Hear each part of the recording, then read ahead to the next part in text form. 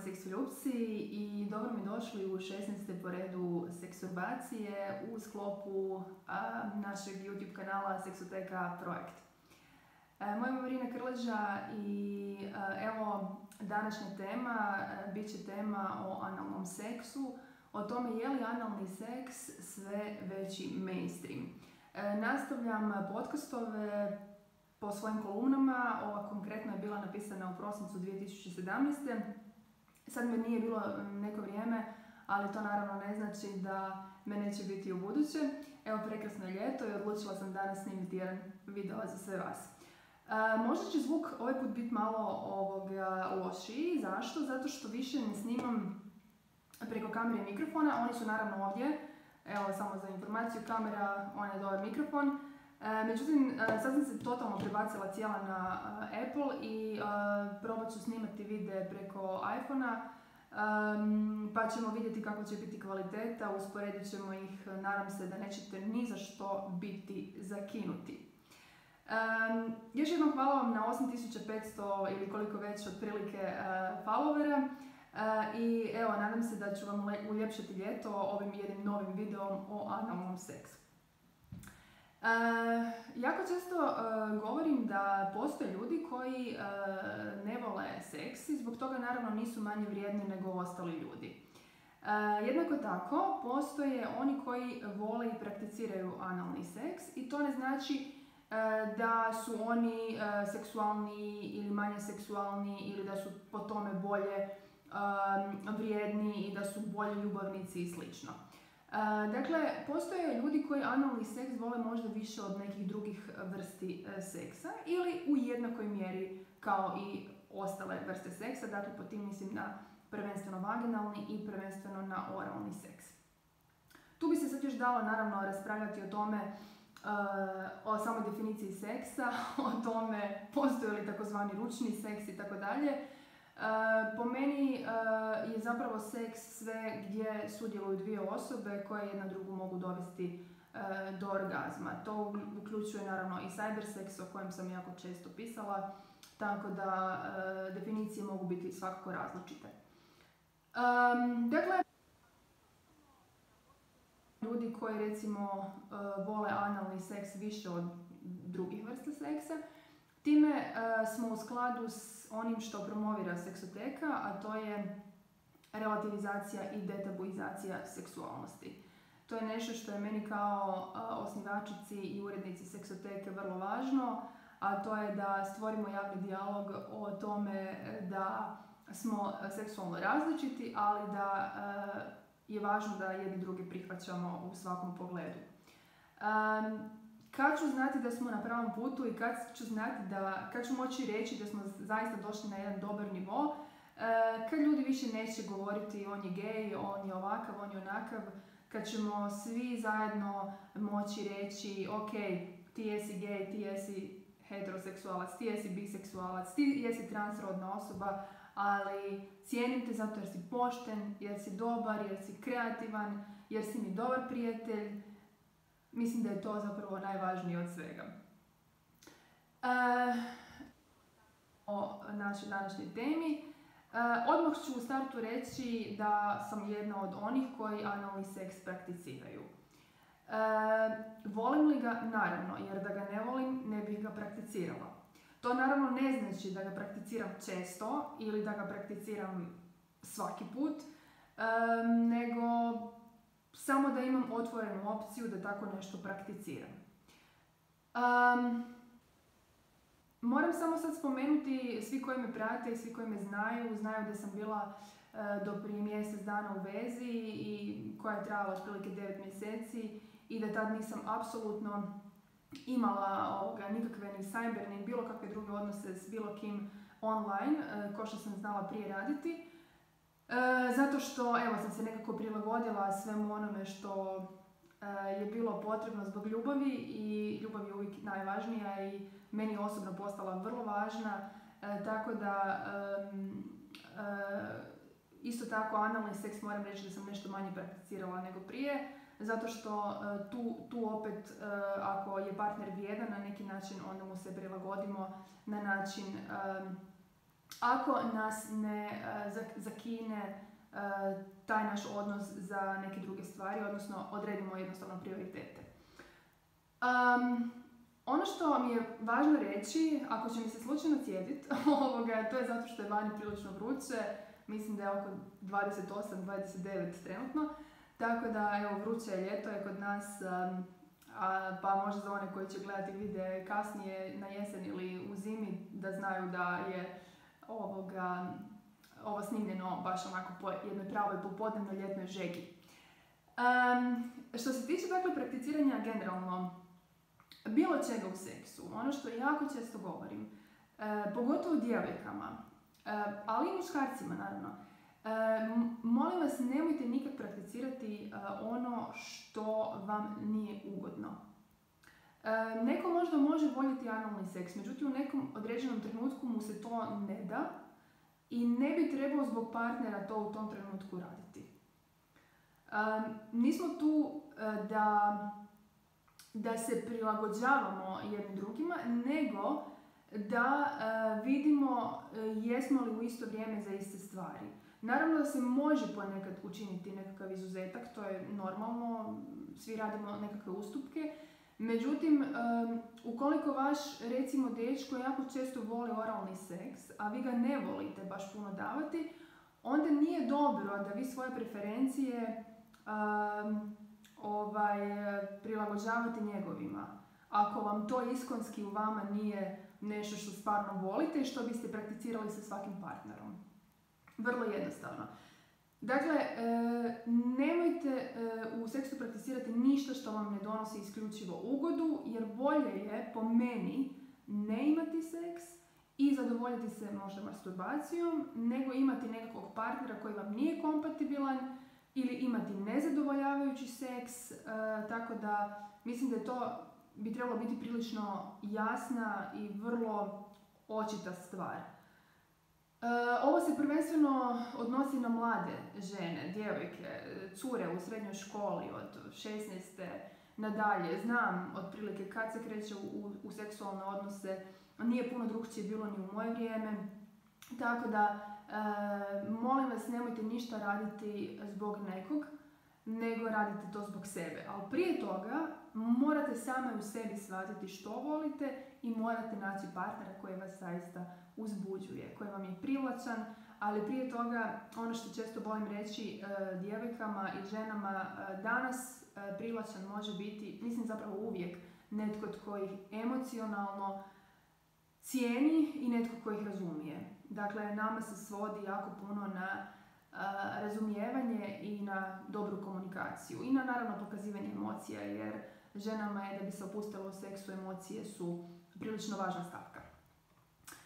E, s obzirom na to e, da u Hrvatskoj pa i u regiji koliko znam nitko ne provodi e, nekakve istraživanja seksualna o tome E, koliko ljudi pa, prakticiraju analni seks, e, koliko često i koliko kvantitativno to rade, barem koliko je meni poznato. Ako slučajno vi nešto znate, javite mi na seksoteka.gmail.com. Jedini pokazatelj seksualnih statistika e, je meni osobno onaj koji sama napravim preko seksotekinih društvenih mreža, dakle preko Facebooka, E, preko Instagram anketa i prije smo to radili preko Twittera, dok nam Twitter nije bio, trenutno je Twitter još uvijek, zapravo uopće ne, više se ne pojavljujemo na Twitteru jer naprosto nemam vremena, radim neke druge stvari, tako da mi Twitter nije baš bio niti toliko primaran, bilo je otprilike nekoliko tisuća followera, što mi sad se ne isplati, što naravno ne znači da neću možda u budućnosti opet otvoriti Twitter profil. No, e, postavili smo krajem te 2017. na Twitteru i na Facebooku anketu o tome prakticiraju li ljudi analni seks ili ne. E, priznajem da me angažman ljudi e, i broj glasova vrlo ugodno iznenadio. Evo, jesam liberalna, puno razgovaram s ljudima o seksu, međutim nisam ipak očekivala takve rezultate.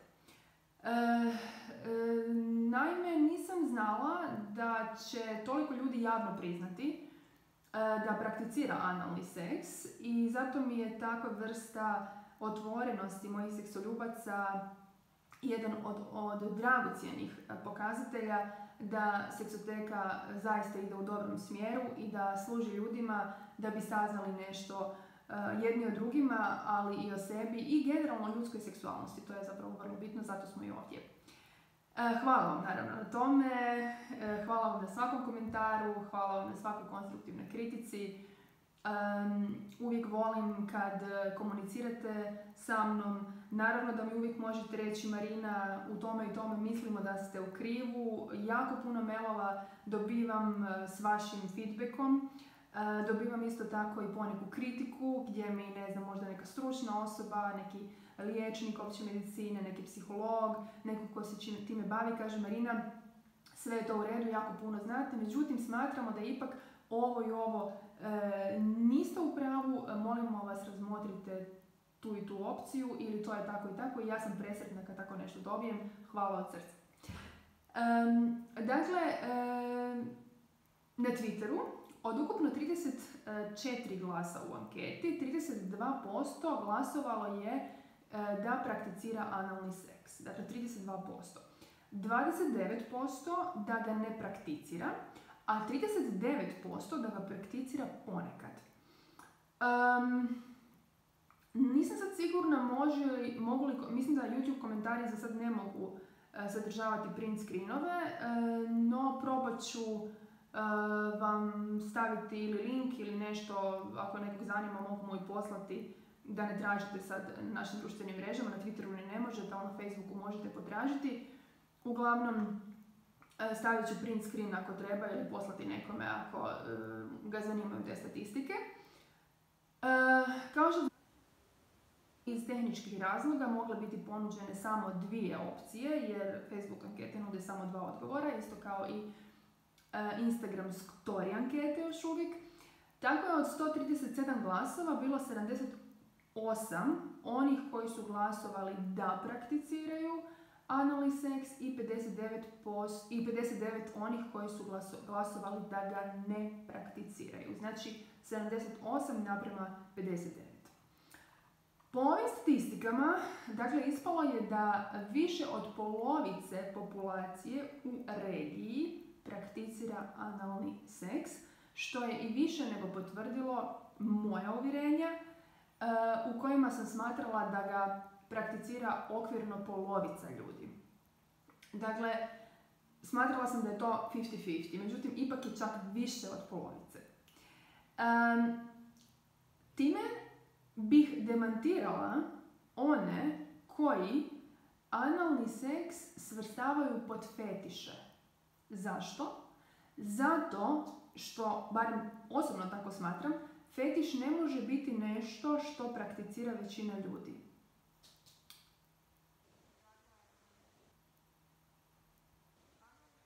To je vrlo mainstream stvar, iako se o njemu ne govori mnogo, baš kao ni o masturbaciji. Međutim, znamo da masturbira možda 90% ljudi i više po nekakvim mojim uvjerenjima, povremeno ili često. E sad, na neki način bih mogla reći da me zanima prakticiraju li ljudi analni seks više nego prije sto ili tisuću godina. I osobno mislim da je odgovor ovdje potvrdan također. E, no, e, dakle, zašto? Zašto mislim da ga prakticiraju više? Zato što e, širenjem pornografskih filmova i nesvrstavanjem seksa isključivo u reproduktivni čin, analni seks postoje danas popularniji nego ikad.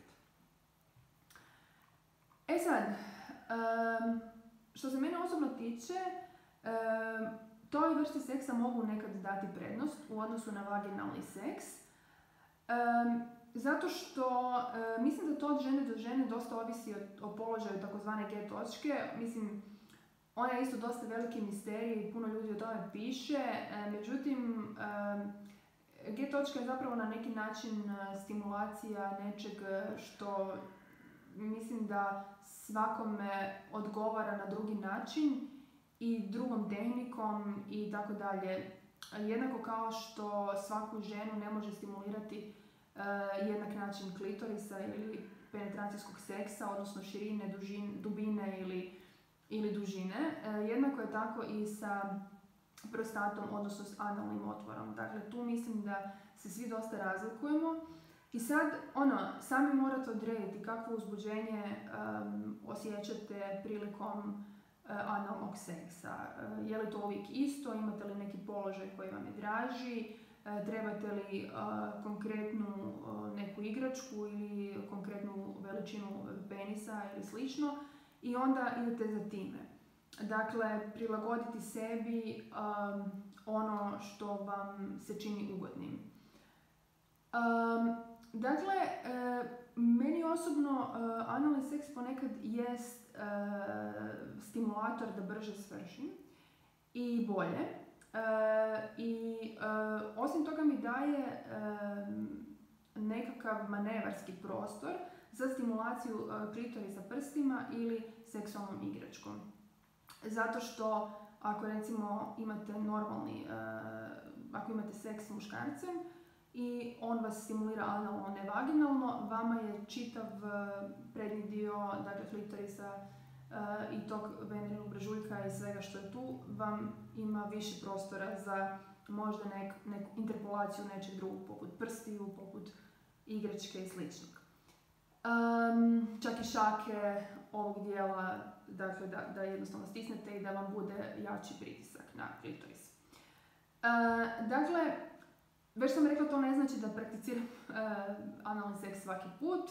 Ako se osvrnem statistički, do sad, neovisno o posljednjem partneru, uh, činila sam to u 20-25% odnosa, evo, da okvirno rezimiram te statistike. E sad, uh, se radi o malom postotku, e, da je, dakle, da je tih 20, odnosno 25% mali postotak u, odnosu na sveukupnost seksa kojeg imam. Vjerojatno ne prakticiraju analni seks, pa nisu, e, pa zapravo ne znaju da se za njega treba poklopiti nekoliko stvari.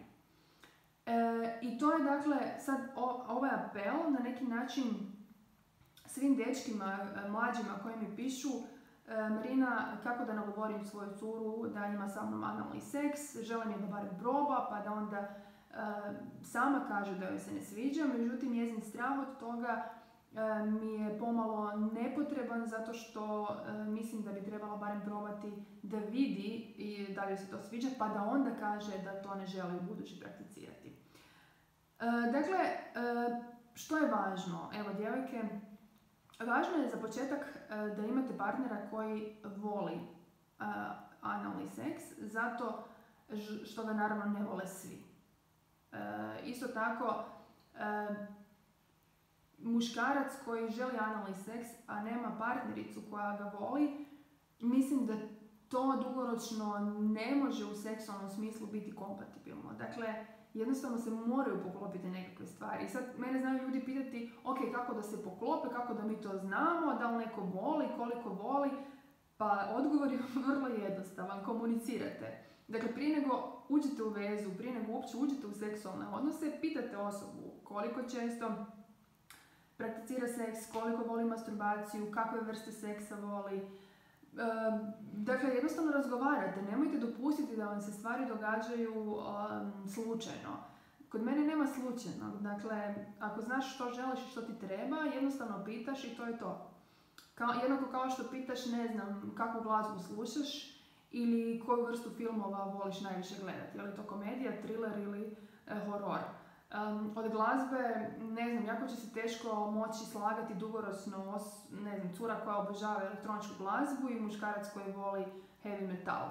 Naravno da e, nije da ne postoji takve veze, naravno da postoje, međutim, kad muškarac u autu navine taj heavy metal, nisam sigurna koliko će cura biti sredna u vožnji koja traje 3 sata, slušajući tu vrstu glazbe koju ona osobno uopće nikad ne bi slušala. Dakle, to su te neke sitnice koje osobno morate uskladiti.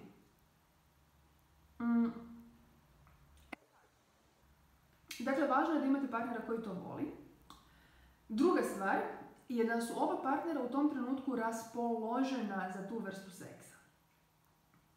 E, naravno da se vi ne možete sad u tom trenutku reći, o jesi li za to, a nisam, e, mislim naravno da možete, ali to se nekako događa spontano.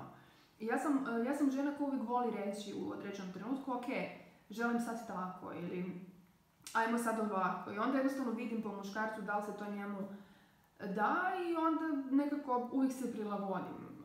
ali, ali mislim da u svakom trenutku dobro znam što želim. To mi je dosta bitno. I nisam baš jedna od onih e, žena gdje se stvari događaju spontano, pa šta bude. ono, dakle, kod mene su stvari dosta ovako jasne. E sad, dakle, nismo uvijek svi za sve vrste seksa uh, i isto tako uvijek dobrodošle i e, možda u nekom određenom razdoblju vas može paliti neka određena vrsta seksa, u nekom ne. Ili isto tako s nekim partnerom vas nešto može više uzbuđivati ili manje. Treća stavka u ovome je da vam partner nema prevelik, da vam dakle nema nekakvu veličinu penisa koja vama osobno ne odgovara. Dakle, e, za analni seks je možda puno bolje da penis bude srednje ili manje veličine, i to je nešto što se preporučuje pogotovo mlađim ženama, iako kažem analni otvor nije isto što i vaginalni otvor. vaginalni otvor se ne skuplja nakon nekog vremena, pogotovo nakon trudnoće i tako dalje. E, skuplja se do određene granice, međutim vaginalni, e, analni otvor se uvijek skupi, on ima jače kontrakcije i on se uvijek vraća u, svoju pozitivnu, u svoju početnu poziciju. Četvrta stavka je da su vam crijeva oslobođena. Kao i to da ste spremni na prvotnu početnu bol uh, koja se ubrzo može pretvoriti u ugodu. Peta je naravno da pri ruci uvijek imate lubrikant. Uh, osobno ne preporučujem uh, kupljene lubrikante s ne znam kakvim stimulatorima unutra i tako dalje. Uh, najobičniji vazelin i najobičnije organsko uh, kokosovo ulje po meni su najzdravija solucija za tu vrstu seksa. Naravno da se tu preporučuje i kondom, pogotovo ako s nekim niste u vezi, iako, čak i ako ste u vezi, tu je kondom vrlo, vrlo bitan. Naravno da postoje parovi koji to ne prakticiraju i da ponekad postoji nekakav spontani seks gdje jednostavno nemate kondom i tako dalje, međutim nakon toga onda morate biti spremni i na posljedice. Zašto? Zato što u cijevima postoje bakterije koje nisu prirođene drugim, vrst, drugim dijelovima našeg tijela i onda ako nakon te vrste seksa uh, idete opet na vaginalni seks, tu može, biti, tu može doći do, do nekih komplikacija, odnosno do prenosa nekih bakterija iz analnog trakta u vaginalni otvor, što naravno nikome ne preporučujem, a sad ću reći konkretno o čemu se radi. Um, dakle, um,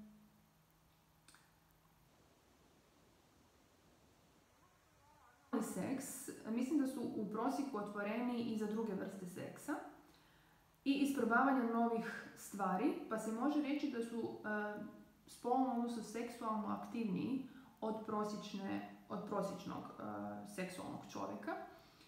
E, međutim, uvijek ima izuzetaka, uvijek ima odstupanja, tako da nije sve crno-bijelo. E, tim ljudima uvijek svakako preporučujem koristiti e, kondom e, pri analnom seksu. Zašto? Tu su ureoplazma, tu su mikoplazma, tu su razno razne boljke koje naprosto ne želimo da nam e, poremete normalnu e, pH e, u, na, u našem organizmu. E, I normalno seksualni, e, dakle, nisam stručnjak, nisam biolog, nisam liječnik, Međutim, e, rodnica treba biti određen, ima određeni pH za rodnicu koji jednostavno treba biti e, e, ni, ni po čemu štetan za ženu. Dakle, nikakvi svrbeži se ne smiju javljati, nikakva peckanja, nikakve ono da se teže malo pomokrite, dakle čim nešto od toga imate, znate da nosite neku vrstu bakterije koja ne mora biti nužno štetna, međutim većina njih dugoročno je štetna, od običnih gljivica, vaginalnih nadalje. Ureoplazma recimo na duže vrijeme dovodi do neplodnosti, a mnogi ljudi čak ni ne znaju da imaju, zato jednostavno ne obraćaju pažnju na simptome. E sad, um, ureoplazma je nešto što seksualno aktivni ljudi mogu vrlo lako dobiti, čak i pri masturbaciji. Osobno na seksoteci ne volim puno govoriti o spolnim bolestima, međutim, mislim da je ovo dosta dobra tema, uh, dakle, taj analni seks, da se možda nešto progovori o ovome, zato što se može, nije nužno da se javlja samo pri seksu, nego i pri masturbaciji. dakle, moguće da neka žena dobije ureoplazmu, a s nikim nije spavala. I onda se pita kako sam to dobila i što se dogodilo. Naime, ako prakticirate uh, seksualnu igračku u analnom otvoru tijekom stimulacije klitorisa, uh, vrlo lako vam se ta, uh, dakle, to može prenijeti, dakle, kroz, ne znam, kroz, ovisi o tome u kojem ste položaju, ta tekućina vam može vrlo lako doći u doticaj s, vašim, s vašom vaginalnom florom. I onda, ne znam, odete ginekologu, on vam otkrije ureoplazmu i vi sebi kažete, ajme meni kako sam sad to dobila, nisam imala partnera nekoliko mjeseci, nemoguće. Međutim, vi ste si zapravo sami prenijeli ureoplazmu e, time što ste se analno stimulirali prilikom masturbacije. Dakle, tu se isto mogu neke stvari dogoditi o kojima puno ljudi ne, govore i u kojima vam sigurno neće ginekolog reći jer vas neće pitati ono, šta ste sama radila, nego obično vas pitaju s kim ste spavali i tako dalje. Mislim, naravno to je etički, ne pitaju vas s kim ste spavali, nego ono, nemojte imati e, nezaštićene spolne odnose i slično. To, to može biti ovoga, nekakva, nekakvo upozorenje mlađim curama. E, e sad, Rekla sam da simptomi često nisu izraženi. Koliko znam, muškarci koji su ih imali, oni uopće ni po čemu nisu imali simptome. To je nešto što je meni fascinantno. Dakle, bez problema mogu nešto prenijeti, a nemaju pojma da to imaju. I onda naravno ne možete kriviti ni njih, nego možete kriviti jedino sebe što se niste testirali um, na vrijeme. Dakle, prije uopće ulaska u spolni odnos s novom osobom, apeliram da se testirate jedan i drugi i da pokažete jednom drugom te rezultate crno na bijelo i da obavezno pogledate datum. Dakle, je, li to bilo nakon našeg upoznavanja, prije upoznavanja, poslije upoznavanja ili tako dalje. I da ako želite imati stalnog seksualnog partnera, tom partneru kažete neovisno o tome hoćemo li biti u vezi ili ne, molim te da budemo si jedini seksualni partneri kako bismo se zaštitili od nekakvih prijenosa nepotrebnih bakterija. To je nešto što je meni osobno važno već jako dugo, već godinama i naprosto ovoga, e, ispod toga nikad ne idem. Iako već sam rekla nedavno i ponavljam već sto puta da e, mi seks bez veze, odnosno seks gdje ne postoji ljubav i gdje nisam u vezi više apsolutno ne dolazi u obzir. Dakle, tu sam se jako promijenila i E, mislim da će tako ostati zauvijek. E, imam svoje razloge zašto sam to prije radila e, i naravno da ću kao seksolog tu moći s te strane jako puno pomoći drugim ženama jer sam neke stvari prošla. Međutim, ne sramim se reći zašto sam se tako ponašala i nadam se da ću u buduće u svojim kolumnama i u podcastovima malo više i o toj temi svakako govoriti i pisati. Ono što je zanimljivo je da e, testovi na ureoplazmu e, su prilično e, dakle nisu više toliko mainstream kao što su bili i ne mogu se dobiti samo tako na uputnicu, barem koliko ja znam. Prije su se mogli dobiti na uputnicu u, poliklini, u dakle, klinici za infektivne bolesti dr. Fran Mihaljević u Zagrebu. I to je bilo jedino mjesto gdje ste vi mogli dobiti na liječnički recept um, dakle, testiranje na ureoplazmu, uh, naravno preko uputnice uh, ginekologa. I prije nekoliko godina zna da se to moglo napraviti u Petrovoj bolnici i u nekim većim bolnicama. Danas to ljudi obavljaju uglavnom u privatnim poliklinikama. E, dakle, odete tamo i u svakoj poliklinici imate test na plazmu, mikoplazmu i tako dalje. Mislim da se radi o nekoliko stotina kuna. Sad nemojte mu uzimati za riječ jer stvarno u zadnje vrijeme uopće nisam gledala koliko to košta, ovoga, tako da provjerite na internetu. Mm. E sad, to je što se tiče bolesti, mi više puno nećemo. E, željela bih samo reći da ne bismo trebali suditi o međusobnoj urednosti. Ne znam, neko može reći, ok, ne, ona sad prakticira analni seks ili on prakticira analni seks, oni vjerojatno nisu toliko uredni ljudi, zato što si dopuštaju tu vrstu seksa koja je, prilič, koja je prilično neuredna, da tako se izrazim.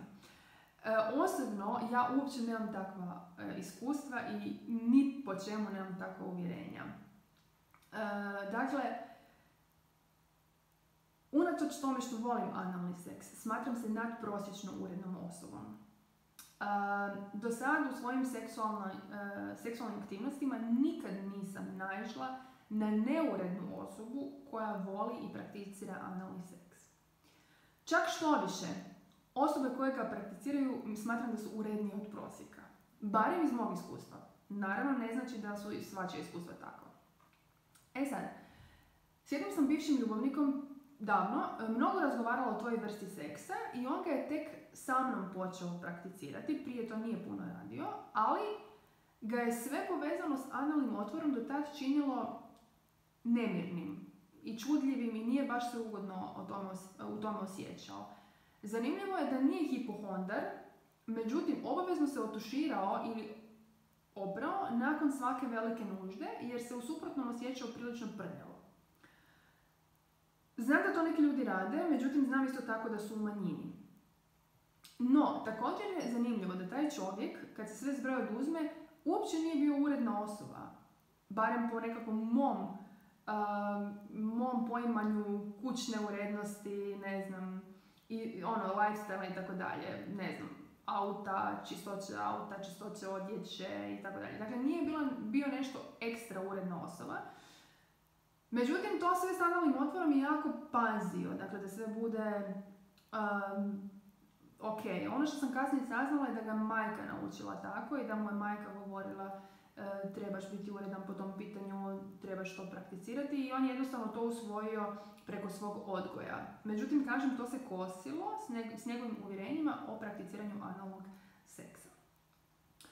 E sad, je tu istu osobu, unatoč svemu nadvedenom, prakticiranje analog seksa e, počelo povremeno jako uzbuđivati. E, čime dolazimo do zaključka da su zapravo seksualni nagoni još uvijek vrlo važan E, i, i dio nas. E, jer do danas ni on ni ja nismo uspjeli e, saznati zašto ga analni seks toliko uzbuđuje, a ima, ima na neki način averziju od analnog otvora. Možda po onoj relaciji da je zabranjeno voće ponekad iznimno slatko upravo zato što je zabranjeno. Tako sam si ja to nekako protumačila. E sad, osim njega, e, imam gej prijatelja koji se obavezno klistira prije svakog seksualnog odnosa. I e, on je jedini, koliko znam od mojih prijatelja, koji ima takvu naviku ili koji mi je barem za to priznao. Kad sam ga pitala zašto to čini, rekao je da ne želi nespretnosti s neugodnim mirisima i ostalime zato što voli da mu seks traje dugo i da partner bude zadovoljan. E, iz tog razloga niti ne jede par sati prije seksa, da jednostavno ima oslobođena crijeva i mislim da je to sasvim legitiman odgovor.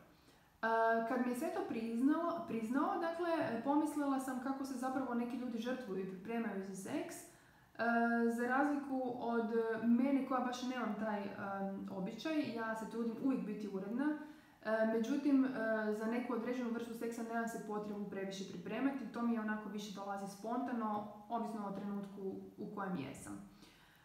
I ono što, što sam jednom, ja mislim, spomenula, negdje najbolji seks mi je bio, obično mi je onda kad mu se zapravo najmanje nadam i kad se dogodi poslije spontano.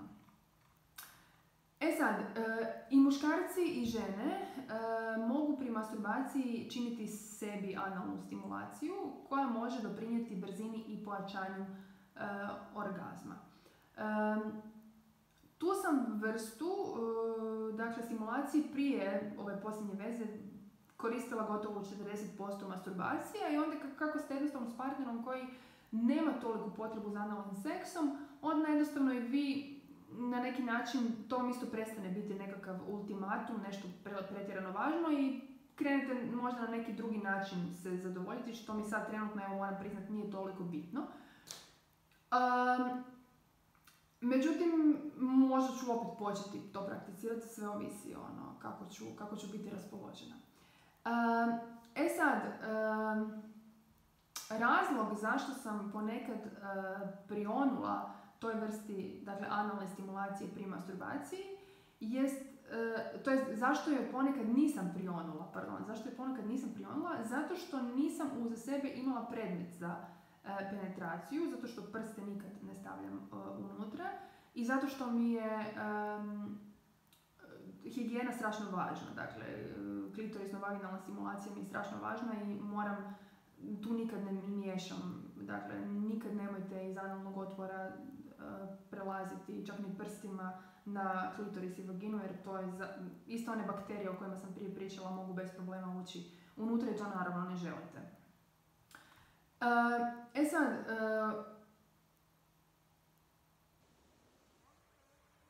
važno, samo da vidim još jesam li tu htjela e, nešto reći. Aha, da, dakle, kad ne bih to prakticirala, tu analnu stimulaciju, to je bilo zato što nisam imala dildo u sebe i ta jednostavno, ono, to je, to je dildo koji se povremeno e, mora prokuhavati i koji ne koristite ni za što drugo osim za to.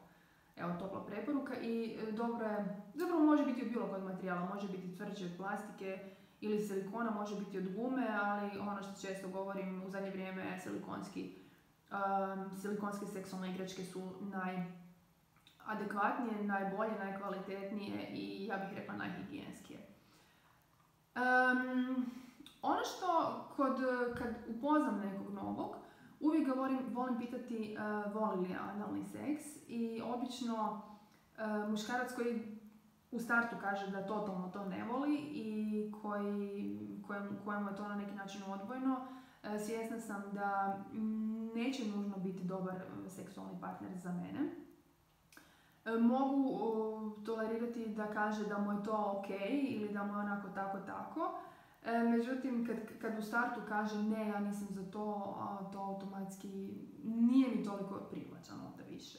Znači, može on imati neke druge dobre karakteristike, međutim, ako ja znam da mi u seksu nećemo biti kompatibilni, mislim da je bolje tražiti dalje nego sad nekog pokušati mijenjati, mijenjati mu nekakve navike, mislim da to stvarno nema, nema puno smisla.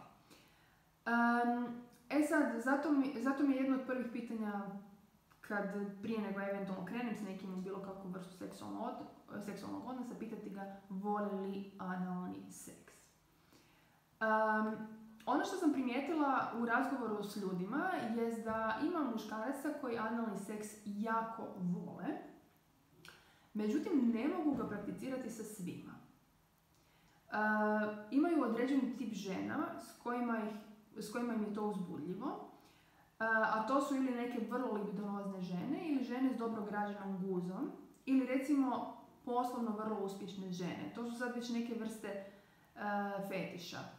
E, s drugim ženama im to naprosto nije zanimljivo. I to je posve legitimno. Vi uvijek morate znati ono, tko ste u odnosu na to što ta, ta osoba želi, možete li zadovoljiti neke njegove stvari, može li on vaše i u odnosu na to saznanje ulazite ili ne ulazite u, u seks i imate li taj seks onda kasnije s njim opet ili s njom ili nemate. I za kraj uh, evo ovog videa želim samo reći da um, svi mi imamo uh, svoje seksualne preferencije, imamo neke svoje male rituale i običaje kojima na neki način želimo biti seksi partneru i uzbuditi njega, međutim prvenstveno želimo udovoljiti sebi i to je poanta svake zdrave osobe da kad ulazi u nešto seksualno, da prvenstveno želi udovoljiti sebi. Želimo da i nakon realizacije s određenom osobom koja nam je bila ugodna, budemo opet željeni od te iste osobe zato jer nam biti poželjan nekome seksualno stavlja osmijeh na lice i svakako daje zanimljiv životni elan koji nas tjera naprijed. Ne kaže se bez veze da seks pokreće svijet i da e, seksualno zdrava osoba ima možda jedan dodatan zanimljiv razlog da živi i da uživa u životu. Ponavljam, to naravno ne znači da oni koji su se ili odrekli seksa ili koji e, više ga ne prakticiraju, možda zbog bolesti, zbog e, izlaska iz veze gdje su prilično bili povrijeđeni ili nešto, to ne znači da su takvi ljudi manje vrijedni, da su manje uspješni i da ne mogu biti sretni jednako kao i oni koji su seksualni. Međutim, ako možete iskoristiti svoje seksualne zdravlje i svoj libido za nekakav životni napredak i za poboljšanje životnog stila, tada vam svakako preporučujem da to činite i naravno želim vam puno sreće u tome. Evo ga, do sljedećeg videa. Želim vam ugodan ostatak ljeta, lijepo mi se odmorite, još malo i kreće rujan koji je svima prilično radni i svakako se pretplatite na naš YouTube kanal ako još niste jer seksualna edukacija vjerujem da nam svima treba i da ne možemo uopće imati ništa loše od nje, čak što više E, samo dobro jer svaka informacija koju nam nisu dale škole i koju nam, nisu znali dati roditelji i tekako je vjerujem dobrodošla. U seksualnoj iskrenosti sama, vaša Marina. Bok.